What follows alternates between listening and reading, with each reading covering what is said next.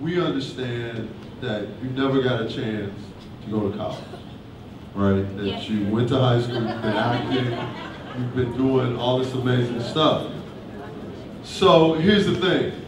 We started thinking about that. You know, we, we got some gifts for you and everything like that. Oh, man. But what we thought was the most special gift that we could give to you is your letter of acceptance to Paul Quinn College.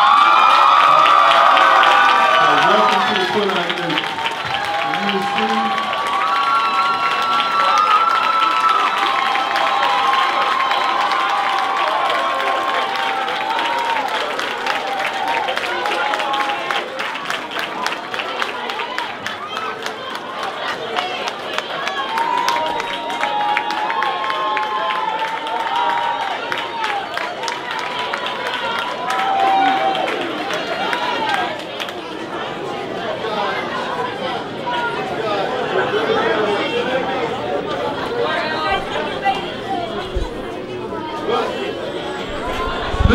This, is an official letter of acceptance.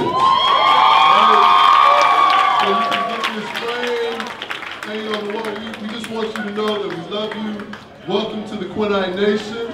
And Karen, got, you got Miss Paul Quinn has got some swag for you to wear. So bring it on up.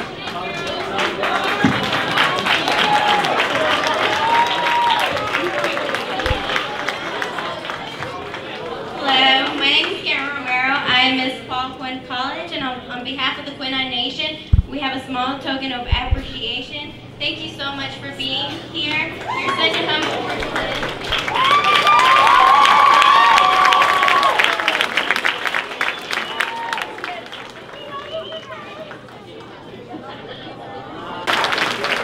You don't know what it means to me to be accepted by you because I didn't get a chance to really be a part of y'all part of. I mean, I started acting when I was nine and I was on sets till then. Homeschool, I don't, I never experienced what y'all are getting experience here. So I would love when my mom would take me to other schools and she would have me talk and it's like, I'm talking to y'all, but really y'all talking to me.